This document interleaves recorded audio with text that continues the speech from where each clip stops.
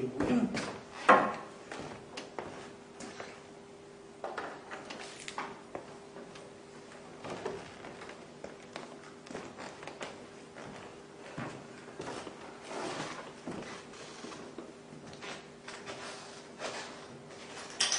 Итак, мы в прошлый раз с вами остановились на том, что в середине 50-х, в начале 60-х годов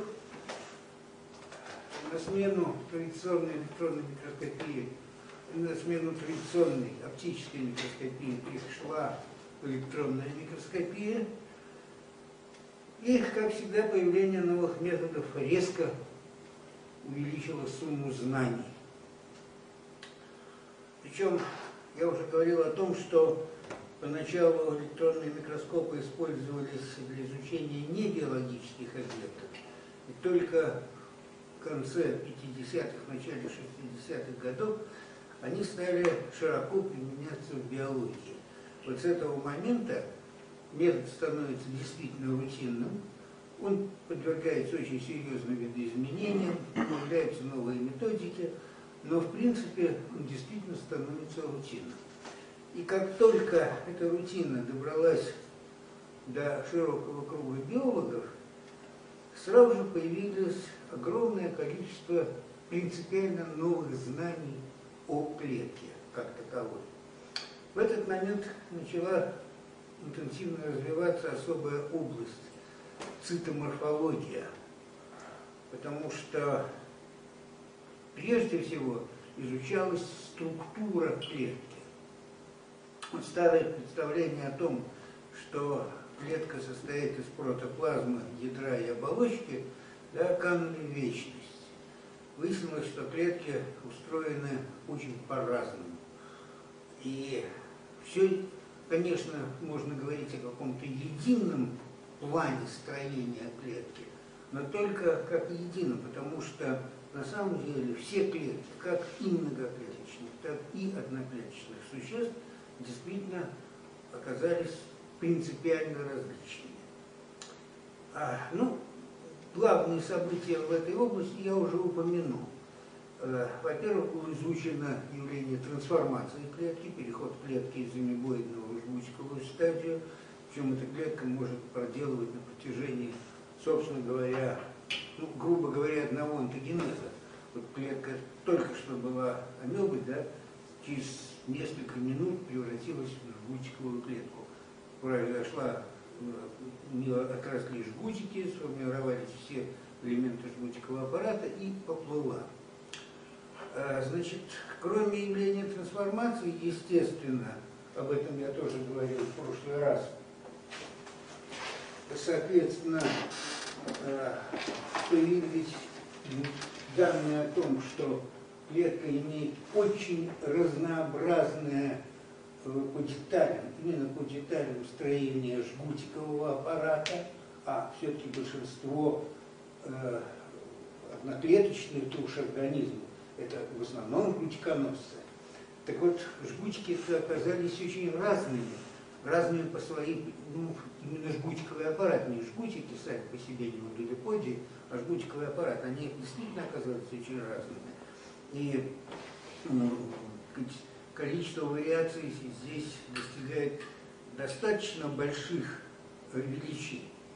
Ну, в первую очередь варьирует корешковый аппарат, да, э, потом нам к этому придется немножко вернуться.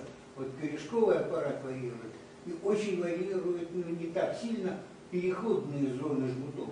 А вот натуриподии и кинетосомы да, практически неизменно у всех эукариотных. Появились данные о многообразии э, митохондрий, причем э, главным образом по форме крест, потому что по-настоящему-то еще структура митохондрий, функции митохондрий были не очень известны, а вот структуру удалось выявить. И по форме креста они очень четко стали различаться друг от друга. Ну и самое главное, появилось еще новое, ну, да, еще один момент, о котором я не упомянул в прошлый раз, э, стало понятным, что в действительности очень велико разнообразие амебоидных клеток. Дело в том, что, опять-таки, в старые добрые времена, в середине 19 и в конце 19 века, считали, что амебоидная клетка – это самая простая клетка. Даже, собственно говоря, вот модель-то под нее и копировалась, протоплазма, ядро и некая оболочка снаружи. Э, и, соответственно, это самая древняя клетка, потому что в это время уже как раз начали появляться различные роды эволюционные учения. Э, и, соответственно, амебоидный способ движения – это самый простой способ движения, способ локомоции клеток. Э, так вот, выяснилось, что на самом деле это все не совсем так, потому что амебоидное движение на порядок разнообразнее, чем жгутиковое движение. Вот все жгутики движутся совершенно одинаково. Там мелкие детали, мел, э, детали строения, главным образом прикрепительных аппаратов жгута, да, вот тут возникает. Но сама механика работы жгута, повторяю, характерна для всех эвакуированных клеток. Там, где жгутики работают, не там, где они превращены, скажем, в силы, там они, естественно, не работают, но там и вариаций больше. Но это вторично. А вот первично жгутики действительно работают, как выяснилось, у всех эвакуиров совершенно нет. Чего не скажешь, мы не будем движение. Вот на самом деле то, что мы называем мимоидным движением, это огромное количество самых разных механизмов. Да, в основе чаще всего лежит неозимое взаимодействие. Но сама механика, сами механизмы, которые приводят клетку в движение, перемещают ее из одного пространства в другое, принципиально разные. Ну вот, повторяю, это тоже было выяснено в эти же годы. И выяснилось, что раньше-то считалось, что если клетка перетекает с помощью псевдоподий, да, ну, значит, тогда это амеба. Значит, это самые примитивные клетки. И, и соответственно, амебоидный план строения лежал в основе бюшерского таксона циркадина. Вот ничего подобного, все, ничего подобного подтвердить не удалось. Амебы, амебы действительно оказались более разнообразны э, и более сложны, чем э, организация клеток жгучкороса. Ну и, наконец, самое последнее событие того же времени, это 60-е, середина 60-х годов. Приходит удивительное осознание того, что на самом деле еще один клеточный органоид характеризуется удивительным разнообразным строением. Речь идет о хроматофорах или хлоропластах. По-разному называют эти структуры. Но факт остается фактом. Они действительно все оказались разными. Вот классический фотосинтезирующий аппарат клетки оказался удивительно разнообразным. Причем разнообразие касается и морфологии, и в какой-то степени и функциональных особенностей. Кроме одного, да, они все обеспечивают процессы фотосинтеза. Но обеспечивают действительно на совершенно разных структурах. Ну, в чем отличие классических хлоропластов? Ну, прежде всего, они отличаются по количеству мембран. По количеству мембран.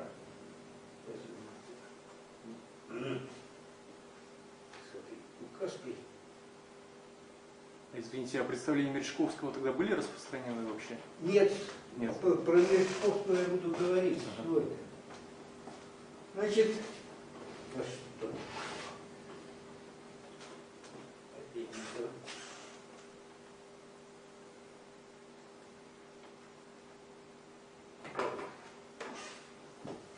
Значит, теперь все они отличаются по количеству мембран.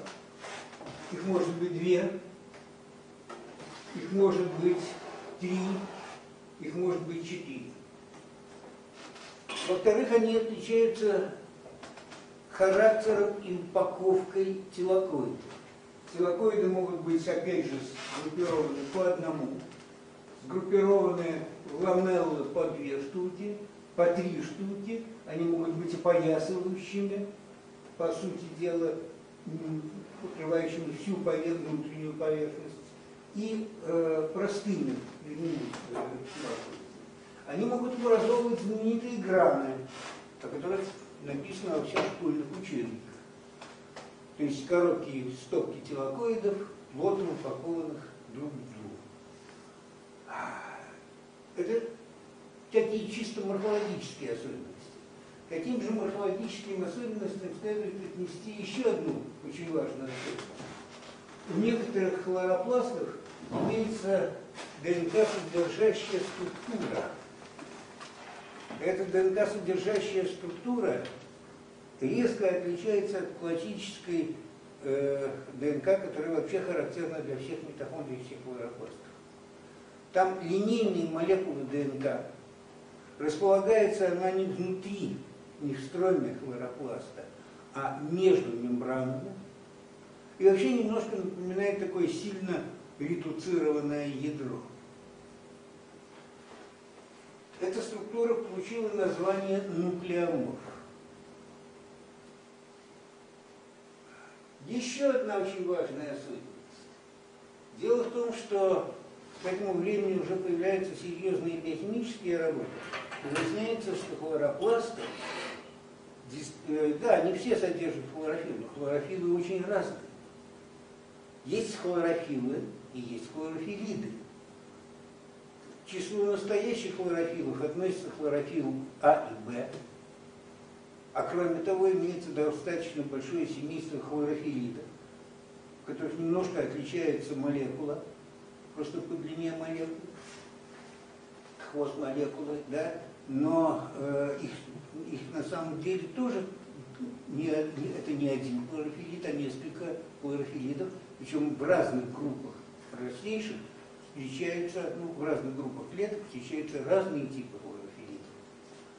И вот комбинации хлорофиллов и хлорофиллидов тоже могут быть очень различны. Есть формы, как родофиты, у которых главным образом доминирует только хлорофилл А, иногда там описывают хлорофилл Д, по этому поводу много всяких дискуссий, я не собираюсь на этом подробно останавливаться. А, э, имеются формы, у которых всегда присутствуют хлорофиллы, хлорофиллы А и Б, то есть настоящие хлорофиллы. Это характерно для евгленовых, это характерно для, собственно, зеленых растений, иридия о которых я буду говорить чуть-чуть дальше. Ну, а, наконец, для очень многих фотосинтетиков характерен хлорофилл А, он есть практически у всех, ну, плюс к этому обязательно присутствуют какие-то хлорофиллиды. Хлорофилла Б там никогда не бывает. Вот это многообразие хлоропластов и морфологическое, и функциональное, оно естественно сразу вызвало, вызвало массу споров. Вот по этому поводу возникает сам в литературе возникает острейшая дискуссия, как это могло возникнуть. Ну, а пытаются еще выстроить некую систему. Вот такая первая система, 1979 год, была предложена Доджем. Он был, считал, что вот это самые простые формы хлоропластов, унаследованные непосредственно от каких-то предков цианобактерий, а потом, значит, соответственно, да, вот начинается такая сложная эволюция хлоропласта. Я хочу сразу же обратить ваше внимание, что тут с самого начала появляются две ветви. Это очень важный момент. Ну, немножко более поздняя схема Слейга, тоже посвященная эволюции хлоропластов, ну, в принципе, то, что рисовал и раньше. Значит, и вот здесь, здесь мы сталкиваемся еще с одной очень серьезной проблемой. Потому что именно в этот момент возрождается из небытия одна гипотеза, которая на самом деле родилась в самом начале 20 э, ну, в конце 19-го, начале 20 века. Речь идет о системе симбиогенеза, симбиогенетического происхождения эукариотной клетки. В это время то само понятие эукариотных клеток активно существует. И в свое время, э, я уже говорил об этом, Шатон в 1925 году разделил всех, все клеточные организмы на прокариоты и эукариоты. И вот начинают пытаться выяснить, выяснить каково происхождение именно эукариотной клетки. А в основу всех этих построений были положены работы XIX столетия. Антон Генрих Дебари, крупнейший ботаник, не только ботаник, вообще крупнейший естественный испытатель второй половины XIX века.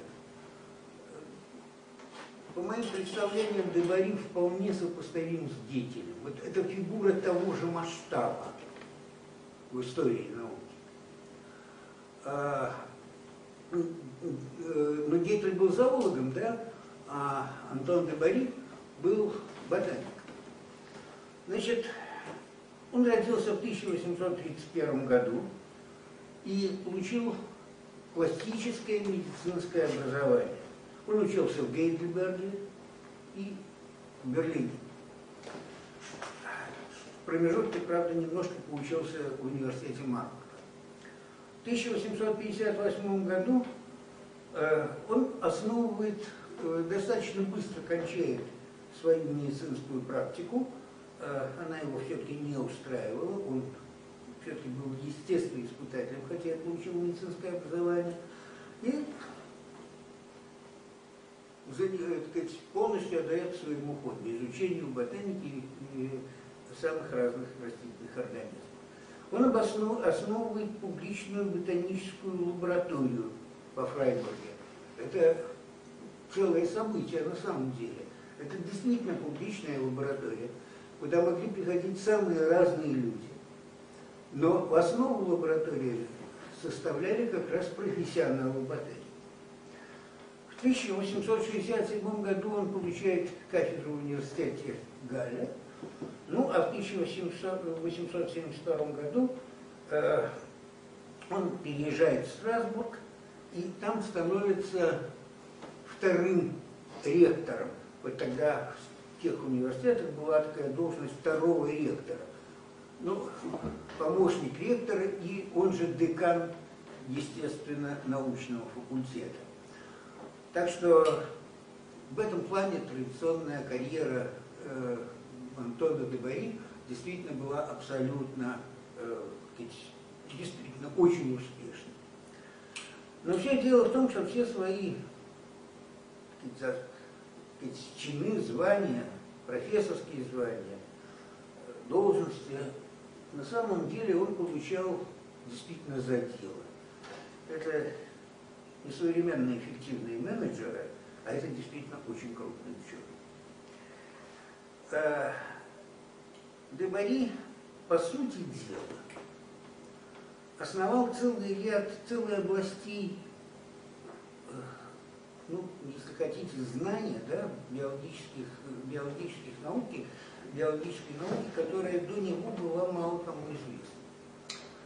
Он первый обратил внимание, он, э, ну, все, все началось с того, что Дебари, Дебари занимался самыми разными группами растительных, ну, по тем временам растительных организмов. У него была фантастическая коллекция э, грибов. У него были лишайники, одна из тоже из лучших коллекций э, того времени. Э, он занимался миксомицетами и, пожалуй, впервые доказал, э, что миксомицета доказал в опыте, да, опытным путем, что миксомицеты никакого отношения к грибам-то не имеют на самом деле. А это всего лишь одна из форм о нем, двойных организмов. А, ну, э, кроме того, он занимался еще одной вещью. В то время, честно говоря, мало понятной современникам. Он пытался изучать взаимодействие растений в природе. Он брал участки пытался выяснить, кто, где и как растет на этом участке, на экспериментальном опытном участке. По сути дела, он занимался такой, ну, это были первые геоботанические работы, геоценологические работы. И он попытался изучать вот это, не было тогда еще слова фитоценоз, да? Но он как раз и пытался изучать разные аспекты фитоценологии. И очень быстро он убедился в том, что разные группы растений, ну, я повторяю, тут и грибы входили в состав э, растений, потому что, естественно, никто не отменял системы в то время существовавшие. Так вот, разные группы растений проявляют определенную тягу друг к другу. Вот есть формы, которые постоянно сосуществуют вместе. Ну, большинство исследователей просто прошло мимо этого факта, а Добари обратил на это серьезное внимание и начал изучать вот эти постоянно повторяющиеся факты совместного существования растений. Но в результате, в результате Добари создает новую науку. Ту науку, которую мы сегодня называем симбиотологией. Он придумывает термин симбиоз. Это его термин, ему принадлежащий. Э, и Добари, в отличие от многих последователей, под термином симбиоз понимает только сам факт совместного существования организма. Симбиоз, совместное существование. Вот представление о том, что симбиоз это взаимовыгодное и взаимополезное, э, э, взаимовыгодное и взаимополезное существование организмов, на самом деле это не Дебари, это придумали, Герки, э, придумали братья Геркеги. Это они потом так сказать, сократили, уменьшили пространство, на котором можно применять термин симбиоз. Но это будет позднее.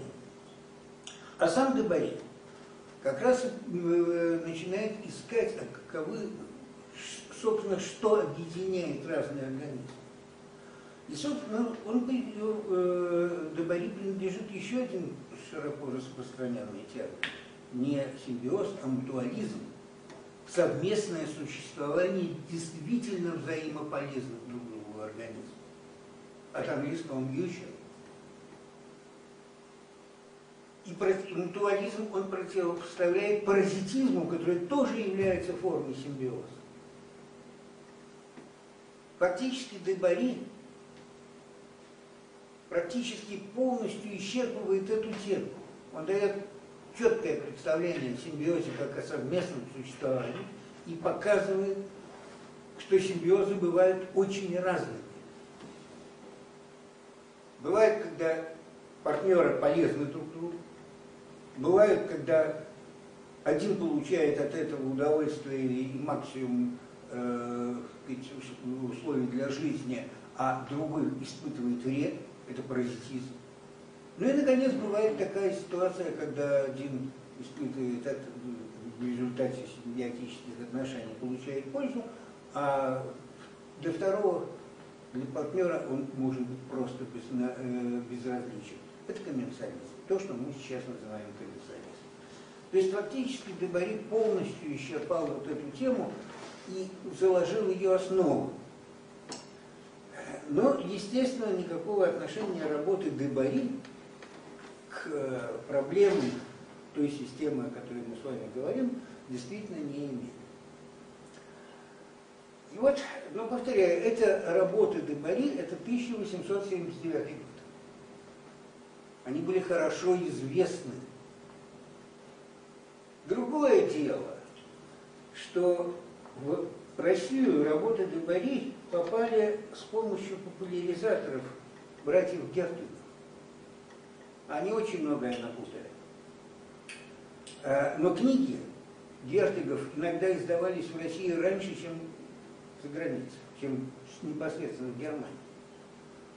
И вот Гердвиги, которые обратили внимание на работу Дебари, но резко сузили понятие симбиоза. для популярной литературы им понравилось одно. О, организмы оказывают друг другу помощь, взаимовыручку. Они взаимополезны. И они вот только это назвали симбиоз. И в таком, э, в таком-то плане, в таком смысле симбиоз попал в русскую литературу. Именно благодаря братьям Еркину в конце XIX века. И намертво закрепился. Было несколько попыток избавиться от этого узкого значения слова симбиоз. В том числе ваш покорный слуга написал большую статью по этому поводу. Все равно, что говорят одно и то же. Симбиоз – взаимовыгодные, взаимополезные отношения двух организмов. Сам Дебари, повторяю, никакого, никакой качественной оценки термин симбиоз не вносил. Он отмечал только, что это сам факт совместного существования организма. Ну ладно, бог с ним с Дебари. А, кстати, по всей, по сути дела, современной англоязычной литературе термин симбиоз используется именно в том полном соответствии с пониманием Дебари. То есть это просто а, э, констатация факта совместного существования двух разноименных организмов. Ну, понятно, что проблема симбиотических отношений, а, она на самом деле привлекала самых разных исследователей. Это и паразитологи, это и другие специалисты по биологии. И собственно, с этого момента и начинает развиваться как таковая э, ну, учение о симбионтах, да, в таком расширенном смысле этого слова. Да, там существует паразитологическая ветвь, есть специалисты, которые занимаются мутуалистическими отношениями, но в целом, да, в какой-то момент это все становится основой для формирования буквально новой отрасли знаний. И вот на рубеже 19 и 20 веков о термине, о термине э, значит, о самом симбиозе вспомнили как раз представители, э, по сути дела, прокистологии и зарождающейся цитологии как науки. А, вот когда э, стало понятным, что э, есть клетки очень разные по своим параметрам, по своим характеристикам, а, есть клетки более сложные, есть клетки, то, что Гекель называл монерами, более простые, вот тогда вспомнили о симбиозе. И, пожалуй, первая попытка объяснить возникновение эукариотной клетки с помощью симбиотических взаимодействий более простых клеток принадлежит русскому исследователю, естественно, испытателю Мережковскому. Это брат знаменитого писателя Дмитрия Мережковского, Константин Сергеевич Мережковский. А, это действительно очень интересный человек. Значит, он в свое время начинал работу на нашей кафедре, был учеником Вагнера, Вадим, э, Вадима Николаевича Вагнера. А первый же, ну, начинал-то он вообще как правовед, но через два года после начала своей карьеры ушел из правоведения, поступил в Санкт-Петербургский императорский университет и оказался как раз на кафедре у Вагнера. Через год Вагнер, заметив именно талант ученика, взял его с собой экспедицию на Белом море, э, на Белое море.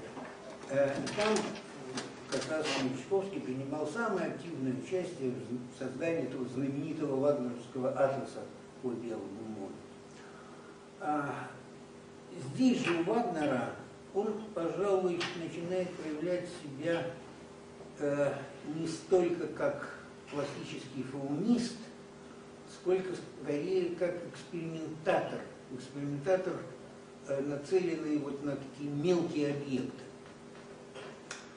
Э, ну, например, он э, интересуется диатомовыми отраслями, и первый пытается объяснить, скажем, механизм движения, скольжения диатомовых отраслей. Другое дело, что это не совсем точно было сделано, но тем не менее, так, тем не менее такая попытка была. Значит, он пытается заниматься, ну, то, что мы сейчас называем хроматофорами хлоропластными, э, пигментными структурами клеток. И тоже выясняется, что эти клетки, что эти структуры достаточно сильно отличаются друг от друга. Как, как раз и на примере диатомовых и других групп одноклеточных отраслей. Ну, э, значит, после некоторого пребывания в университете он оставляет работу в университете. Э, по-видимому, характер у него был не очень простой. А, в общем, то ли он сам оставляет, то ли его вынудили оставить, там история немножко не очень понятная.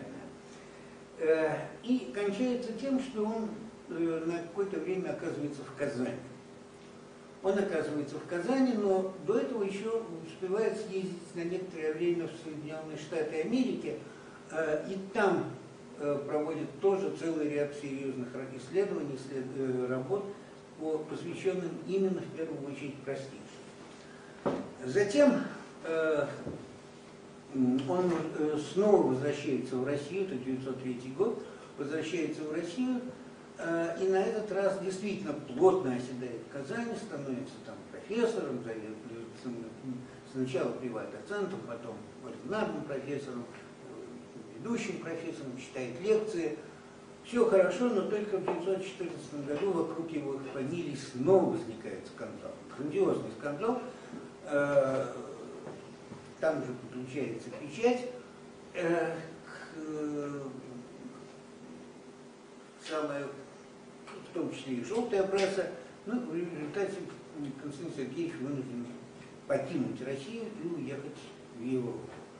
Э, проводит некоторое время в Ницце, потом в Швейцарии, а, и там пишет свои знаменитые работы.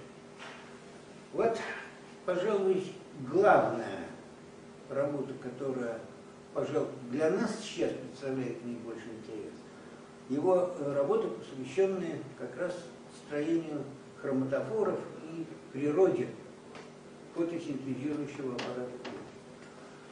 А, и Мережковский выдвигает гипотезу, которая, если говорить честно, не то, что в те годы, но много позднее. Вот когда я еще находился на вашем месте и слушал лекции в этой аудитории, это всегда преподносилось, ну, как, ну, ну вроде талантливый ученый просто выжил из ума. Вот он первый написал о том, что эукариотная клетка, а термин-то уже существовал, работы Шатон тут были достаточно известны. Так вот, эта сложная эукариотная клетка возникает в результате симбиогенеза. И сам термин симбиогенез принадлежит Мережковскому. Повторяю, это задолго до появления по-настоящему симбиогенетических гипотез. Первый человек, который я высказал, он начинал даже немножко раньше, но вот где-то после 2014 года да, эти работы стали появляться, э, пропагандироваться эти идеи Мережковским достаточно активно. А, в чем смысл симбиогенетической теории э, Мережковского? А в том, что Мережковский предложил примерно следующую систему эволюции клеток, разных клеток. Да? Эволюция матрешки. А животная клетка поедает клетку, способную к фотосинтезу.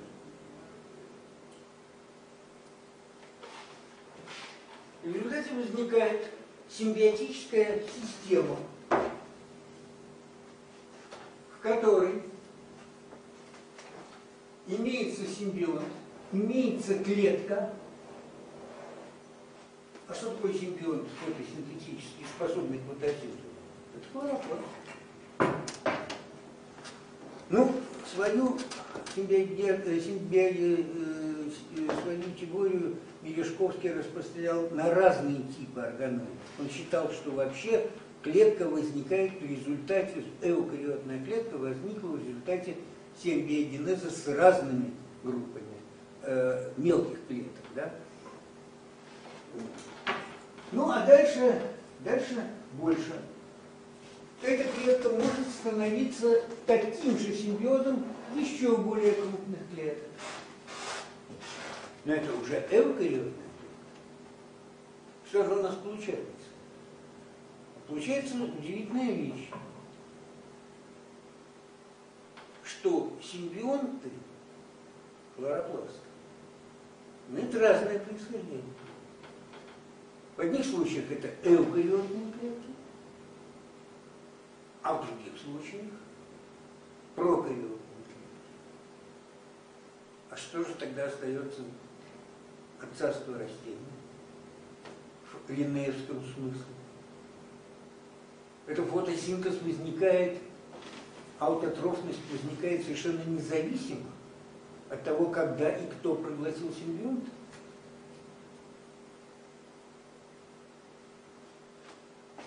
Повторяю, когда еще не знали всех различий в строении хлоропласта, но в результате уже сам Мережковский, сам Мережковский, по сути дела, подразделил, предложил свою систему эукариотных организмов. Он выделил микоиды, растения и животных. Вот очень интересен состав микоидов. Значит, в состав микоидов входят детелевские монеры, гриб, э, бактерии, да? И грибы.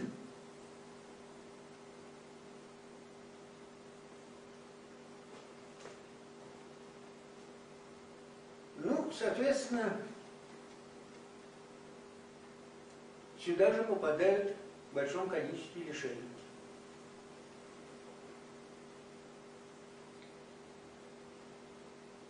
Ну а что касается растений и грибов, ну, здесь, естественно, э, что касается растений и животных, то, естественно, Мережковский этот раздел своей системы практически не детализировал. Вот что он понимал конкретно под растениями, какие группы растений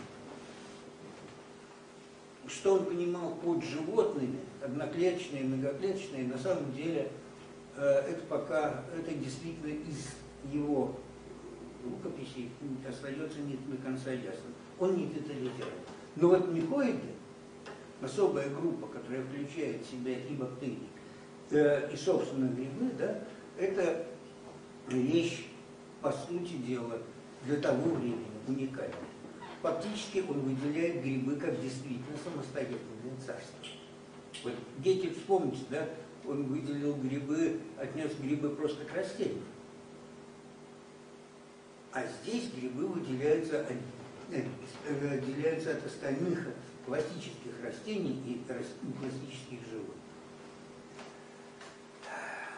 Надо сказать, что идеи э, Мережковского я уже сказал, да, они вызвали очень негативную реакцию у современников, и, пожалуй, только один человек по-настоящему поддержал и попытался развивать их. Это феминизм.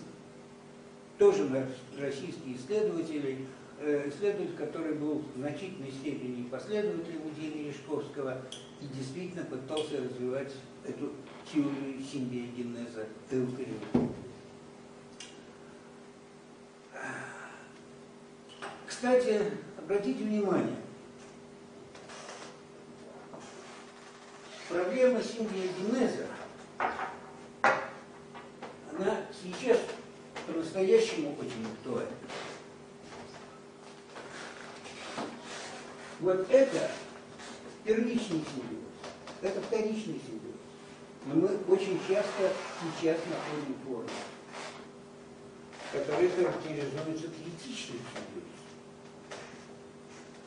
Когда в качестве симбионта оказывается вот такая конструкция внутри тела. Вот это действительно очень интересная форма.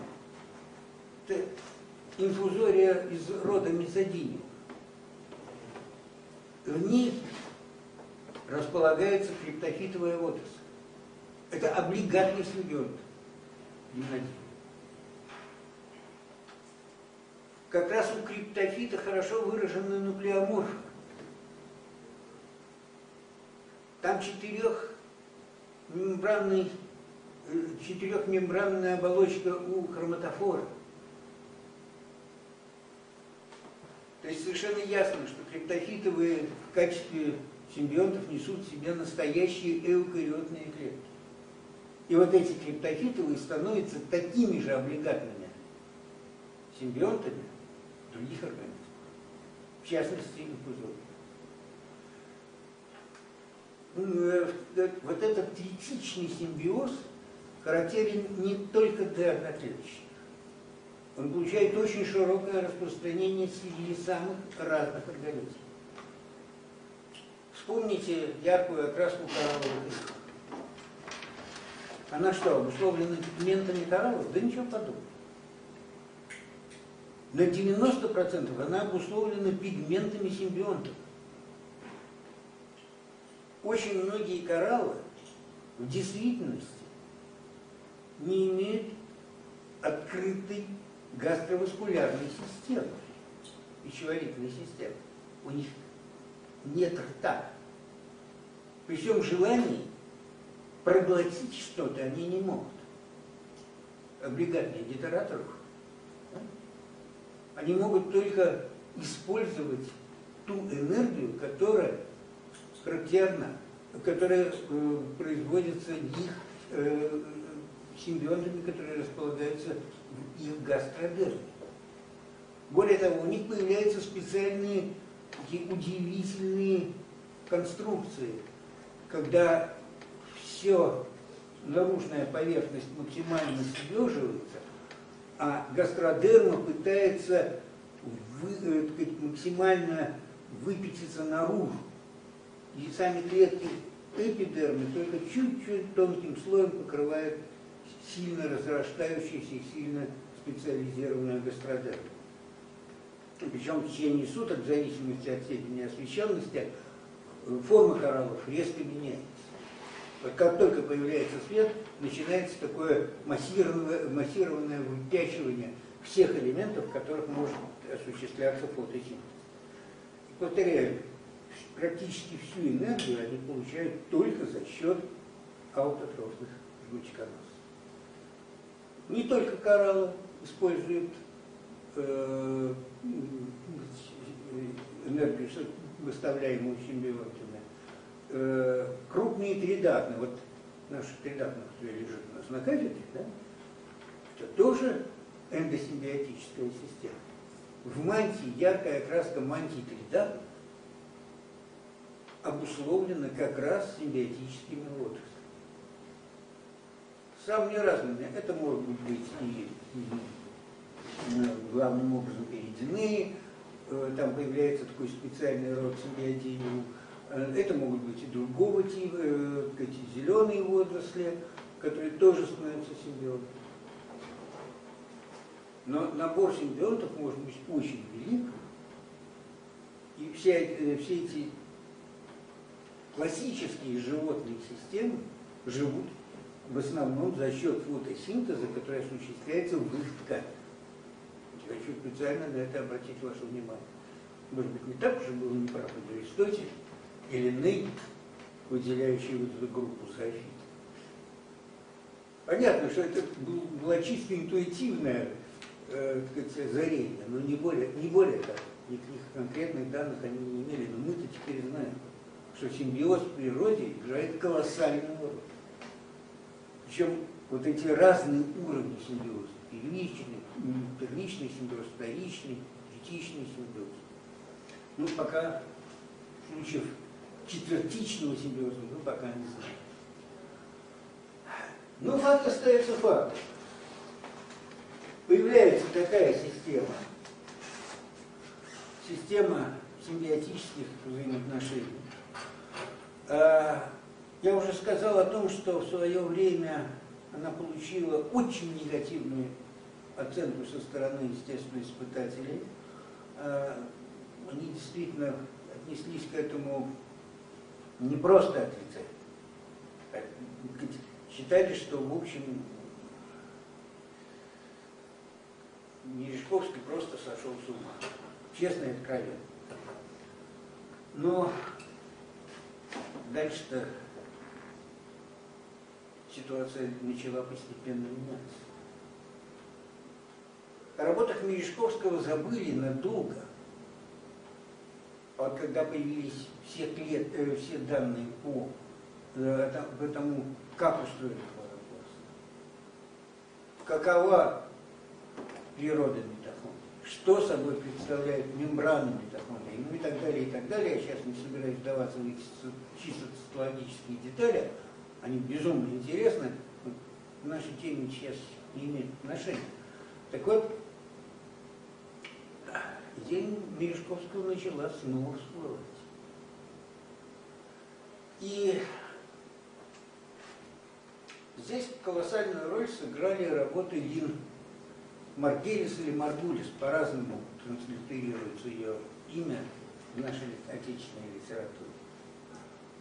Вот начиная с 60-х, 70-е годы, а, фамилия Маргелис или Маргулис да, действительно по-настоящему была известна ну, практически биологам сегодня.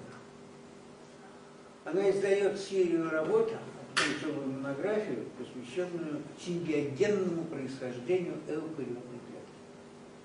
Она использует тот же термин, который использовал Мережковский. Симбиогенез. Ну, конечно, если говорить честно, Лина немножко увлеклась.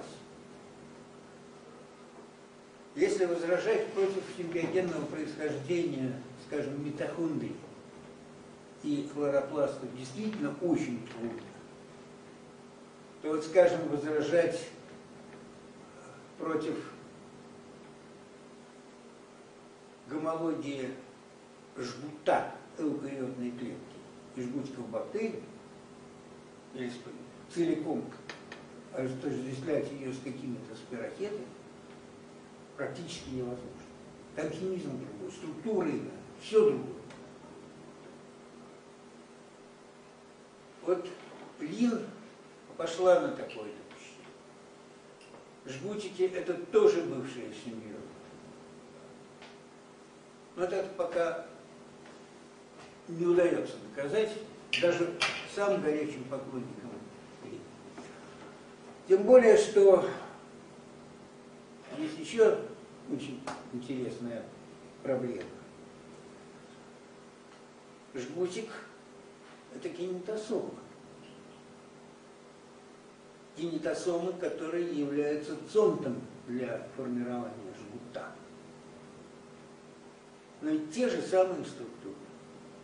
А у многих жгутиконосцев не просто те же самые, а они же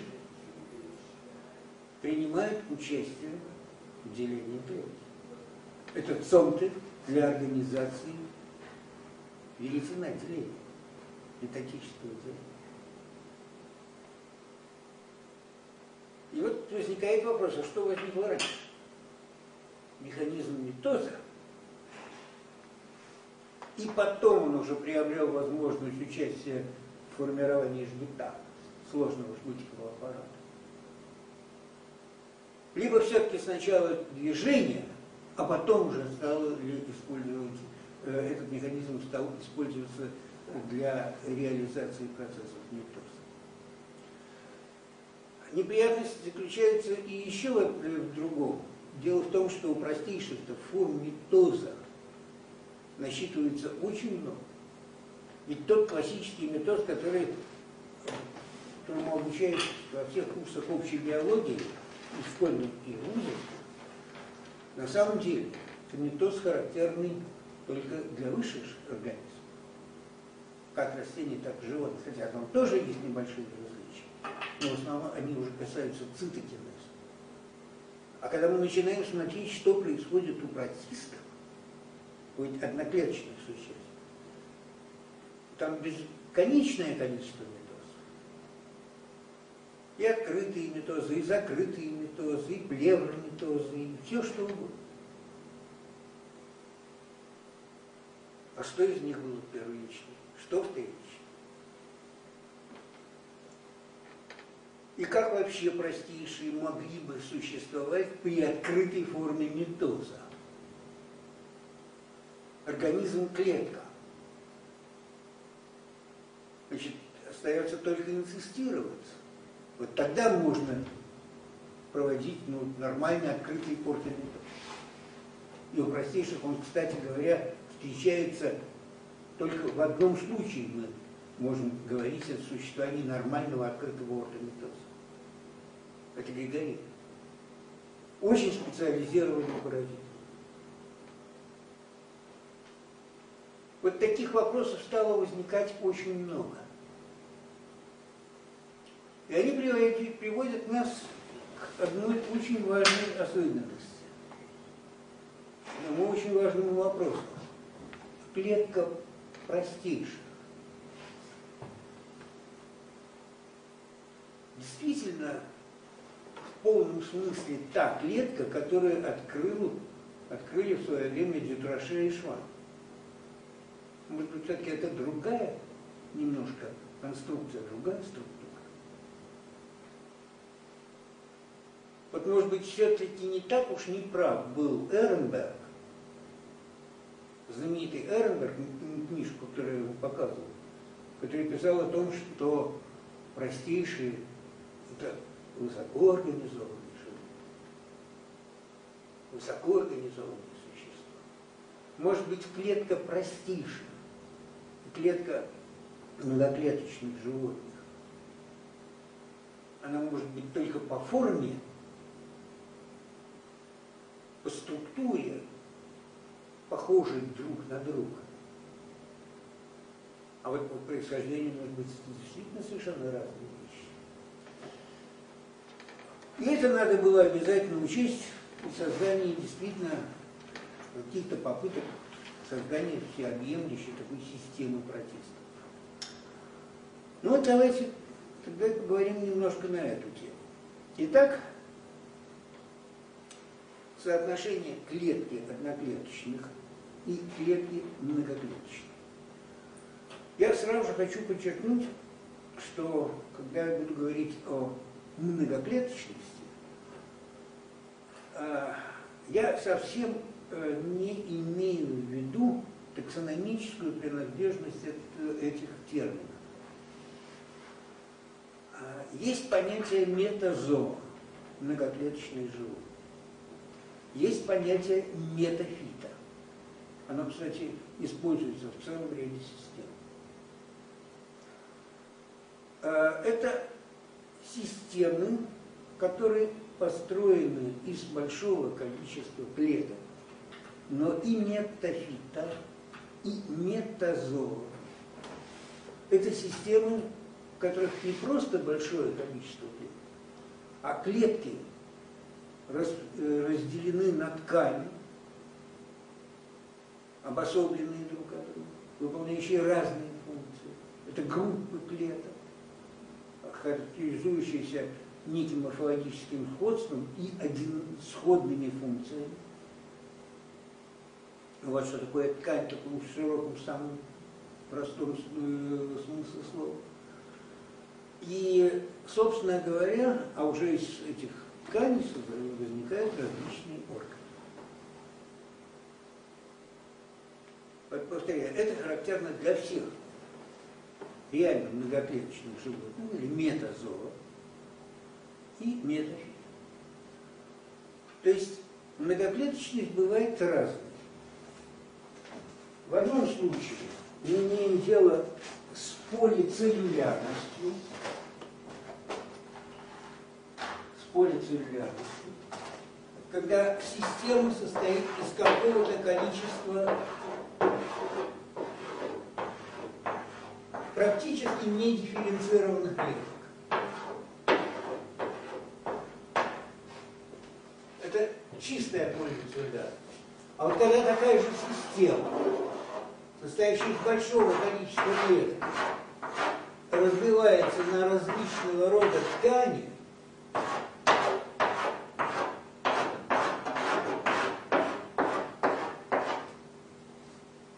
вот это уже настоящая многоклеточность или метазойность или метаклеточность.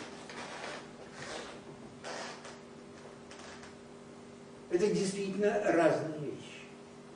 Вот значит, когда я сейчас буду говорить о многоклеточных э, э, существах, я буду прежде всего иметь сам, э, в виду прежде всего сам факт полицеллюлярности, большого количества клеток, без разделения его на корневые системы.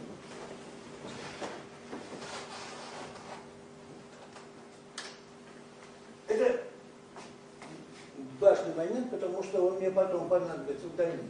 Еще один момент, на который я тоже хочу обратить ваше внимание. Мы имеем дело с организмами, тело которых состоит из самых разных структур. Вот теперь давайте посмотрим, какие это структуры.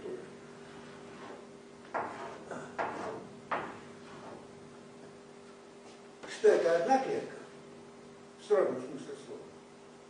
Два жгута, одно ядро, какой-то набор органов. В строгом смысле одна клетка. Но дело в том, что в свое время знаменитый французский протозоолог Добель написал одну очень интересную фразу. Простейшие рабы своей многоклеточности. Но как любые рабы, они постоянно бунтуют. Ведь на самом деле такой тип организации простейший, монадный тип, да, вот в строгом смысле слова монадный тип, когда действительно организм представлен одной клеткой, в общем, встречается не так уж часто. Что может возникать? Может из простейших формироваться настоящая колония.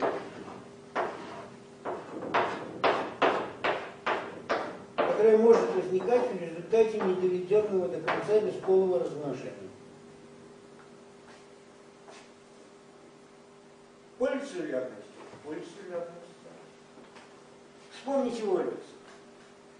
Там начинается проблема дифференцировки клеток. Причем очень своеобразная, да? Тот же Вольвиц, аутотрофный организм, я специально подчеркиваю, для которого характерна аутотрофия, на самом деле не передний, задний конец. У него четко выраженная полярность. Клетки переднего конца, как правило, небольшие, с мощными жгучками, мощными стигмами, с относительно небольшим хроматофоном. Клетки заднего полюса или альтернативные признаки, огромный хроматофон, я немножко, конечно, утрирую, да, но маленькая стигма и короткие жгути. Понятно. Это сенсорно-двигательный аппарат колонии, а это трофический аппарат колонии. Тем более, что у некоторых волюсов там еще существует мощности связанные, связывающие клетки. Плюс к этим клеткам добавляются еще клетки, э, э, связанные с размножением. вегетативные клетки, размножение из которых формируется в результате агамного процесса э, дочерней колонии, и так называемые половые клетки, да? макрогаметы и микрогаметы. Но это колония. То, что это колония, это не вызывает никаких сомнений. Да, у нас есть исходно одна клетка, всего одна, которая начинает делиться, особи, входящие в состав этой колонии, постепенно формируют действительно настоящую шароидную колонию. Но есть известны и другие случаи, когда вот такие полицеллюлярные системы могут возникать в результате сползания одиночных клеток. Так называемые плодовые тела акразиев. Что это такое? Они очень легко переходят из одиночного состояния к полицеллюлярному. А дикиостериум. Плодовое так называемое тело дикиостериум. Там же там не просто многоклеточный, там начало дифференцировки клеток. И повторяю, это связано не с размножением клеток, а со сползанием клеток.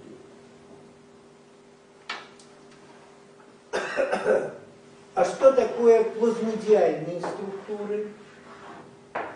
Самые разные.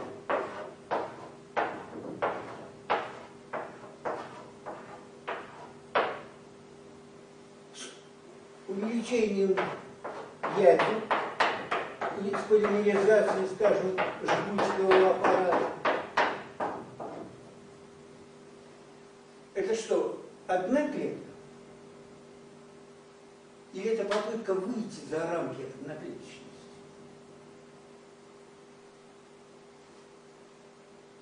Ну и, наконец,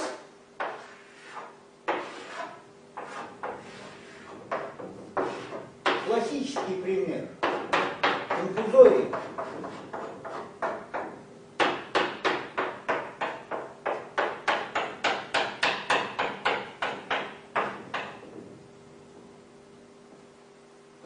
Со сложнейшей системой морфологически обособленных компактных пределах вот того, что мы называем инфузорий. Я уж не говорю о двуядерности. Что и остальные физиологические компартменты очень четко выделяются. Есть компартмент, обеспечивающий циклоз и, и, собственно, трофику. Он тесно связан с э, перистомом и цитостом клетки.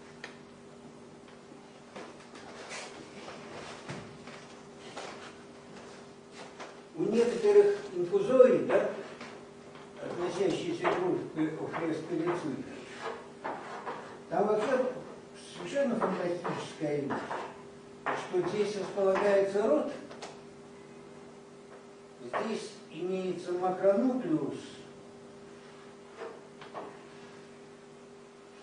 и хорошо выраженный микронуклеус имеются специальные скелетные пластинки, которые отделяют ядерный компартмент от остальной части.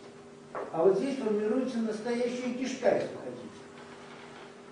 Так постоянный цитоскелетный элемент, микротрубочки из элементов, которые образуют настоящую стенку кишки.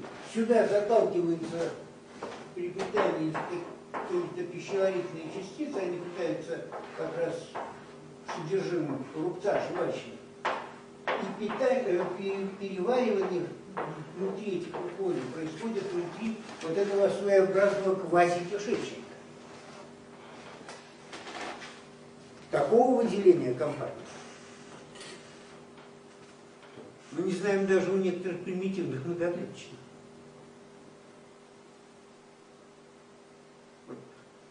Покойный Лев Николаевич Сиранин в свое время для характеристики таких клеточных структур предложилось еще специальное название цитоид.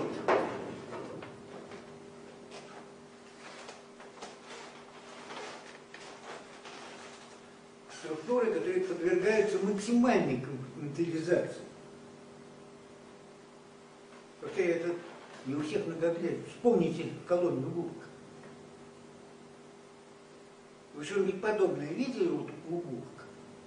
Ничего подобного у многоклеточных организмов. Заведомо многоклеточных организмов. То есть на самом деле клетки действительно оказываются очень разными.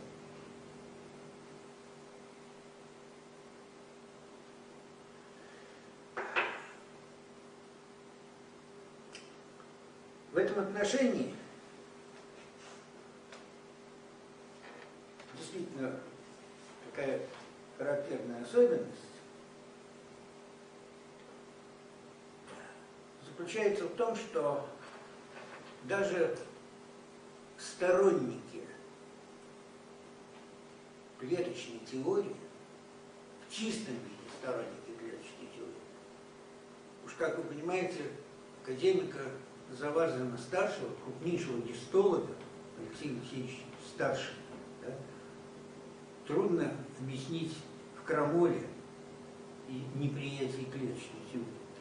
Вот Заварзин старший писал, так, так называемые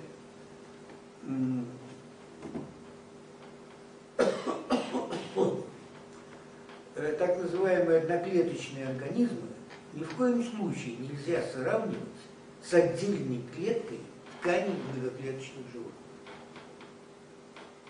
Он категорически отрицал самую возможность сравнения этих двух функционально разных структур. Клетки организма и клетки многоклеточного животного.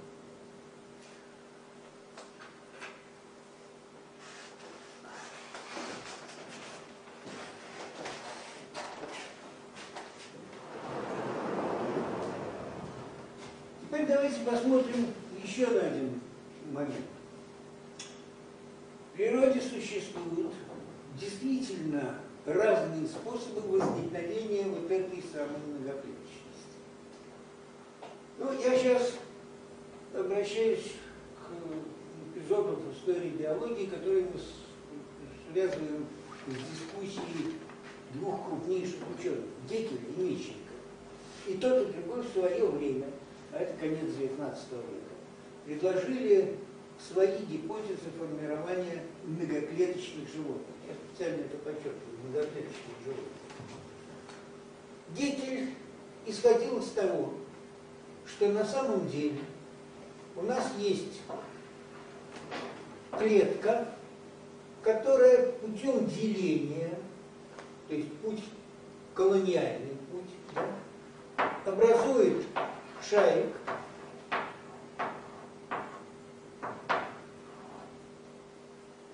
который в дальнейшем превращается в так называемую гастрею. Двуслойный шарик, состоящий из стека и ядра. Это очень примитивно изложенная гипотеза Гитлера. То же самое, то же самое, из тех же самых предпосылок предложил и Мищенков, но только он заменил гастрею другой модели. Да, действительно образуется шаровидная колония, но затем клет... какие-то клеточные элементы начинают уходить внутрь. И мы получаем удивительный организм, состоящий из наружного слоя клеток. Фагоцитобласт – из наружного слоя клеток, хинобласт. Он даже не называл это эктодермой и энтодермой. И рыхлую паренхематозную массу внутри клеток. Вот это фагоцитобласт. Ну, соответственно, и Гегель и использовали оба две эмбриологические модели, которые к тому времени были хорошо изучены. Надо сказать, что и тот, и другой были отличными эмбриологами. Они много внимания уделяли именно эмбриологическому исследованию. Но Гекель, как всегда, выбрал очень простую, ясную схему. Ну что может быть проще шарик, внутри которого просто происходит погружение части ткани да, и образование в печень. Повторяю, в этом весь Гекель, вся его ментальность. А, ну, было неважно, у кого чаще всего мы наблюдаем процессы инвагинации. Повторяю, э, использовал классическую эмбриологическую модель, характерную для дейтеростония. Имагинация встречается и в других группах, но в наиболее чистом виде, в том виде, в каком ее представлял себе Гегель, да, она встречается именно для дейтеростония. А Мечников пошел по совершенно другому пути. А, он использовал в качестве модели, четко выраженной модели происхождения многоклеточных животных, как раз эмбриональные данные по эмбриологические данные по самым примитивным группам, губкам. Тут он, кстати, и открыл свою знаменитую, да, принесшую Нобелевскую премию Э, явление фагоцитоза. А он использовал книдарий кишечно-полостных и в меньшей степени немножко плоских червей. Он специально изучал эмбриональное развитие этих организмов, поэтому он пришел к классической паренхимуле, личинке типа паренхимула, но он ее назвал фагоцитозом. Но, повторяю, и тот, и другой на самом деле ничем не отличаются друг от друга. Я хочу это тоже специально подчеркнуть. Они просто использовали разные биологические модели для создания своей гипотезы происхождения многоклеточности. А основой э, этих двух гипотез является то, что в качестве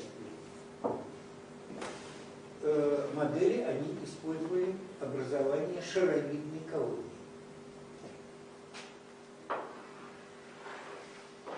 Опять же, в начале 20 века, позднее эти работы уже в 50-е годы достигли, э, ну не достигли, да, получили э, максимальное уже развитие в работе, в работах югославского зоологии Хаджи,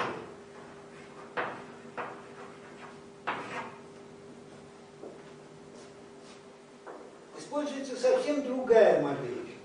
Повторяю, вот это четкое отличие, да? совсем другая модель. Хаджи исходит из того, как раз вот он в значительной степени использует то, о чем я говорил до этого.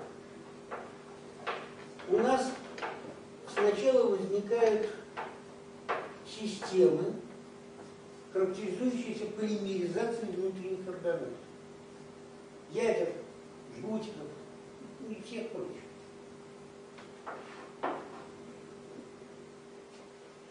А затем начинается серьезный процесс целлюляризации, обособления клеточных тел вокруг отдельных ядер.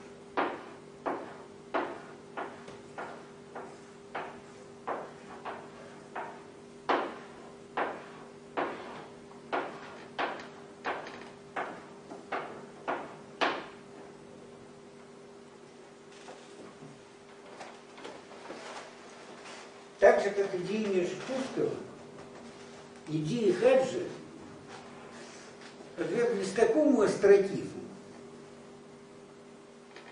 что вообще трудно себе представить. Потому что это действительно крупнейший залог середины 20-го столетия. Но практически все серьезные журналы после того, как он публиковал свою книгу, да, категорически отказывались печатать его работу. Потому что идеи Хаджи признавались, опять же, совершенно немыслимыми, так же, как идеи Мешкова. А вот теперь давайте посмотрим. на эти схемы с разных сторон. Немножко с иной стороны. Итак, клетка простейшего. Вот этими двумя черточками я обозначаю границы индивидуальности этого организма. Вот это организм, самостоятельный организм, простейший. Вот границы его индивидуальности. Когда формируется колония, колония, я еще раз подчеркиваю, не, не бластомеры в процессе эмбрионального развития, а колония в результате недоведенного до конца бесполого, бесполого размножения. Границы индивидуальности отдельных э, экземпляров, входящих в состав колонии, изменяются? Как был? Те же Так и остался. Только они вместе живут. Почему это мы называем колонией, а не организмом, да? Вот это. Но только здесь постепенно начинает формироваться в результате появления первичной, подавления первичной индивидуальности, начинает формироваться новая индивидуальность. Да? Она формируется очень постепенно, по мере того, как начинается интеграция клеток. Когда происходит подавление отдельных функциональных особенностей клеток. Ну, например, у клетки того же Вольвакса, вегетативной клетки, полностью утрачивают способность к. Они не могут делиться. В какой-то момент они становятся частью принципиально новой конструкции. Входят в ее состав уже только как элементы. Но, повторяю, этот процесс идет очень медленно, очень постепенно. Процесс утраты индивидуальности организма в рамках нового цикла. А теперь давайте посмотрим вот на это. Вот у нас первичная индивидуальность. Когда в ней разделились органоиды, и она превратилась в одну в идеальную структуру, индивидуальность изменилась? Нет. Морфологическое усложнение индивидуальность Когда произошла целлюляризация, индивидуальность изменилась? Нет. То же самое. Принципиально это то же самое. А смотрите, что из этого получается. Что вот клетка и вот эта клетка это разные вещи. Эти клетки никогда не были самостоятельными организмами. Вот эти клетки, повторяю, никогда не были самостоятельными организмами. Они никогда, они не утрачивали свою индивидуальность. Они сразу же формировались как часть целого. Ну, повторяю, Хаджу посыпались фантастические обвинения.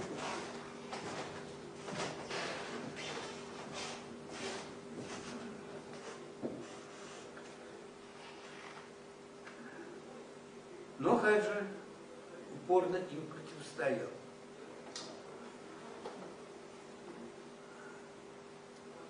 Что же получается?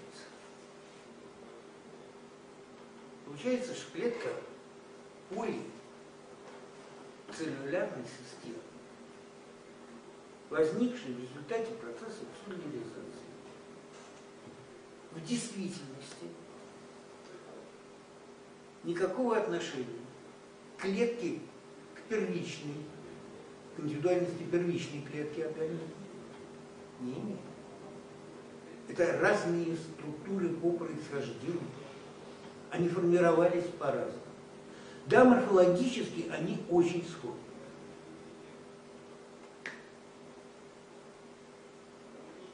Действительно очень схожи. И то, и другое в морфологическом плане действительно клетка. И вот с этой точки зрения, да, можно признать, что все организмы состоят из клеток. Но только нужно помнить о том, что клетки действительно могут быть очень разные. Ну, я повторяю, эта точка зрения в свое время была подвергнута очень серьезной критике, причем в ход пускалась Ну, кто из нас видел такую цивилизацию? Вопрошал один вполне известный ученый, как раз находясь на моем месте в этой аудитории. А на самом деле все видели. Щавлын дроблей. Неполная проблема. Ну, как раз распределение по транскрипционным факторам, распределение по функциям начинается с самого начала. С управления. Вот еще одна модель. Я-то привел как раз две модели деятельности вечных. Но ведь теперь еще не помню. Классическая цивилизация никуда не денется. Так что, в принципе, такая вещь может быть. Никаких серьезных запретов на процесс цивилизации нет. Ну вот, вот с, такими, с таким багажом данных подошли как раз к рубежу 70-х, 80-х годов.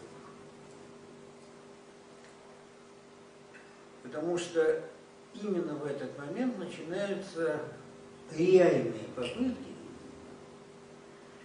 создания принципиально иных систем. Но об этом мы будем разговаривать в следующий раз. Так, вот. А в чем проблема, собственно, из-за чего критика? Понимаем, Мережковский там вообще весь мир перевернул учен, на научном, ученом, ученом сообществе. А здесь, собственно, лю- людям пришлось просто признать тот факт, что клетки разные, одни индивидуальны, другие не индивидуальны. Так э, вот это как раз и признавать-то не хотелось.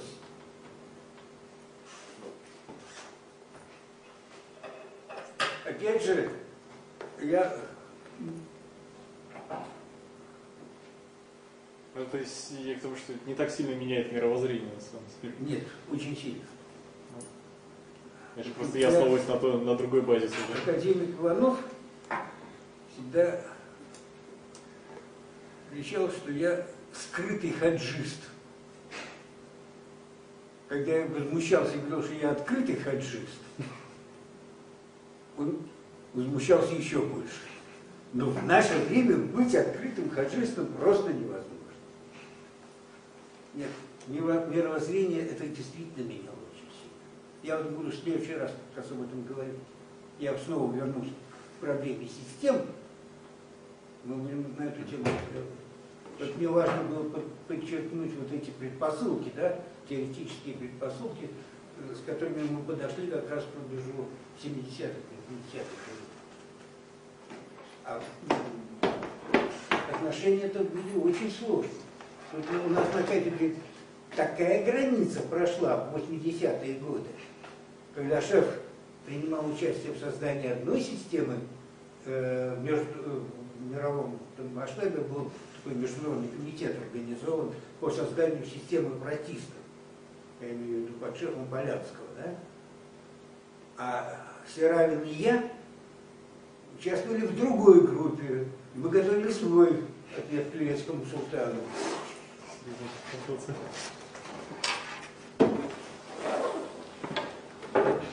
И две другие оказались совершенно неправы, как бы- было показано. Но я потом признал, что в конечном счете кое в чем мы так и обогнали этот между- международный комитет. Ну, вот в следующий раз я об этом говорю.